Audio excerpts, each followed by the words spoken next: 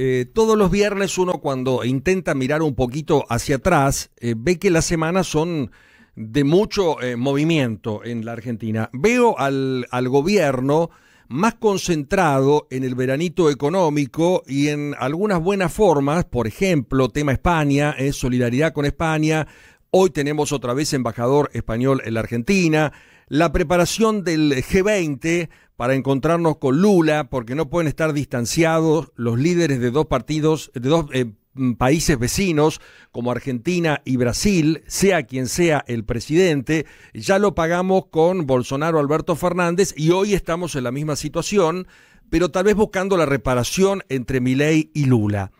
Pero mientras sucede esto y el, el gobierno festeja el, índice de inflación y está atento a los mercados y, ve cómo el dólar oficial se acerca al dólar paralelo cuando la brecha en algún momento volaba por arriba del 100% y el riesgo país ha bajado y asegura que tiene el dinero para pagar los vencimientos de enero, etcétera, etcétera, etcétera.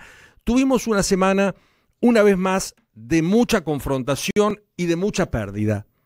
Un país cualquiera sea y cualquiera gobierne circunstancialmente no puede darse el gusto o el lujo de perder tanto dinero cuando estamos sumidos en la pobreza. Los cálculos estimativos de este paro insólito y extraño de un sector del sindicalismo argentino del día miércoles arrojó una pérdida que supera largamente los 150 millones de dólares. Y sin ningún significado porque quienes pararon los trenes, los subtes, los aviones y los barcos, al día siguiente están igual. Los que no pararon, los colectivos, se llevaron una recomposición salarial para noviembre, para diciembre y para enero. ¿Qué hicieron? Dialogaron, presionaron, por supuesto, negociaron, por supuesto. Y hubo colectivos, hubo servicio. Los otros siguen sumidos en la desesperanza casi permanente, en la presión y en la amenaza. El señor Beliboni, que hoy tendría que estar muy preocupado porque está procesado, cuando uno está procesado significa que está más cerca de lo que la justicia acusa por el desmanejo de los fondos con los pobres, por el desmanejo con los alimentos de los pobres, Estuvo muy desacertado cuando publicó Andate mi ley por las buenas porque te vamos a sacar por las malas. No se sacan presidentes por las malas, se sacan presidentes con los votos. Yo sé que pertenece a un partido de mucha manifestación en la calle, la izquierda, y poco voto en la urna. Pero lamentablemente, estimado Beliboni, la gente elige, la gente define, y las urnas mandan en los países donde hay democracia. Tal vez usted busca algún otro modelo donde no se elige de esta forma. Y el día que se tenga que ir Milei o en su momento Fernández o en su momento Macri, se tienen que ir por los votos de la gente, no por las amenazas de grupos piqueteros o de sindicalistas fracasados que en la Argentina tienen hoy una imagen negativa del 92%. Ayer otro, el señor Viró, anunció que durante el mes de diciembre en la empresa estatal Aerolíneas Argentinas con serios inconvenientes económicos, el gremio de los pilotos advierte que desde diciembre habrá problemas para volar en aerolíneas argentinas.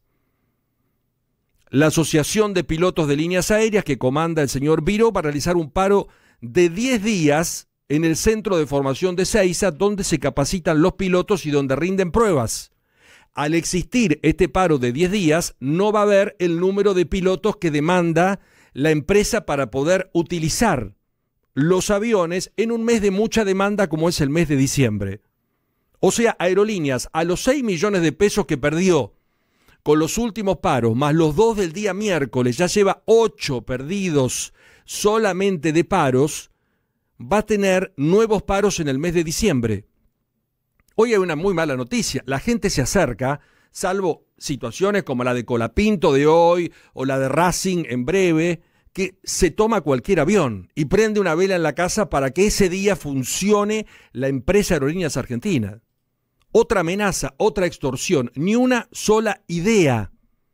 Ni de Pablo Moyano, ni del señor Viró, ninguna idea. Siempre la extorsión, siempre la amenaza, siempre la falta de negociación. Repito, ¿qué hizo la UTA? Negoció, se sentó, obtuvo resultado, sí, obtuvo el aumento salarial de los colectiveros.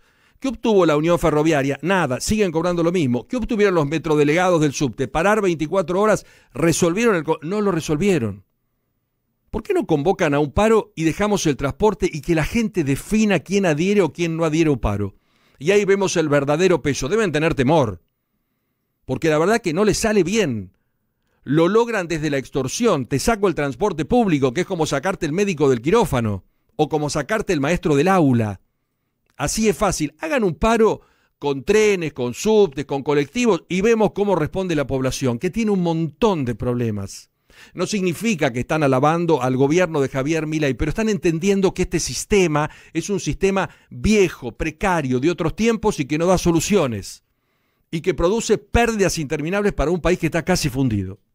Una semana que termina bajo amenazas, bajo presiones, bajo situaciones de altísima tensión y que dejó un saldo negativo en un país donde gran cantidad de chicos no cena y se va a dormir con la pancita vacía, una pérdida de más de 150 millones de dólares para darle el gusto a los Moyano, a los Viró, a los Maturano y a aquellos que miran una Argentina desde un espejo que en vez de enfocar hacia adelante, lamentablemente siempre mira para atrás conociendo los resultados que ya obtuvimos y que fueron muy malos. 8 y 20 de la mañana.